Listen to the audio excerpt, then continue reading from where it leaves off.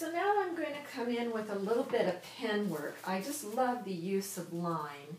And then I'm going to come back in with some watercolor. You always want to make sure that your pen is on something that is very, very dry. So I have to, anything I'm going to do now, I would, if I interrupt and put in some um, water, um, put some of the color in, or some of the paint in basically, I'm going to have to put the pen down until I dry again. So right now, I'm just finding little shapes that I like and accenting them. And this takes a little bit of time. I'm not going to do all of it on the video because um, it's kind of like too detailed and take too long. But I want you to see kind of how I'm starting to develop this central area for a little more focus. And by doing what I'm finding of shapes I love with the pen, not only does it add a little bit of interest, but it gets me excited about line and about where I want to go with the piece. So it's actually partly to put in for the actual pen work, but a lot of it is for my process. Because as an artist, quite often, your process is a lot about how you approach things, not just how it gets done.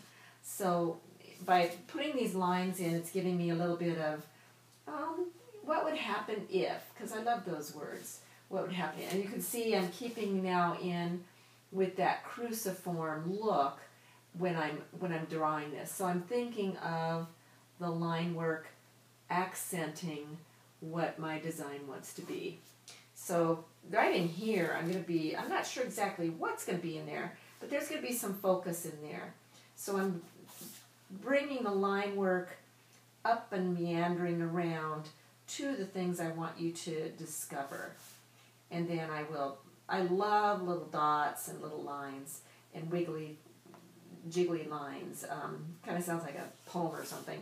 But I, I'm going to put some circles in here. They might disappear later, but for right now, they're going to give me some interest to this area. So I'm just going to do some little circles I probably will, yeah, I'm going to fill some in a little bit. It'll take me a few minutes to fill in a few so you can kind of see what I'm talking about.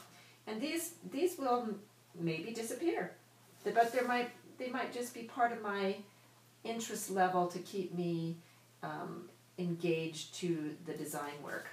And it, and it brings me back in here. Oh, I like this, this shape. So I'm going to accent some of these white shapes in long lines here to draw you into my section here. I can do that up here with some of the blue too. Kind of outline some of the little pieces that happen. And I can make some up along the way too. I can give a little line there to, to make you come. I'm, my, my idea is to keep you interested and to engage you to the place where you just have to look and look and look and look. And the longer I keep you looking, the more that you're interested in the design piece.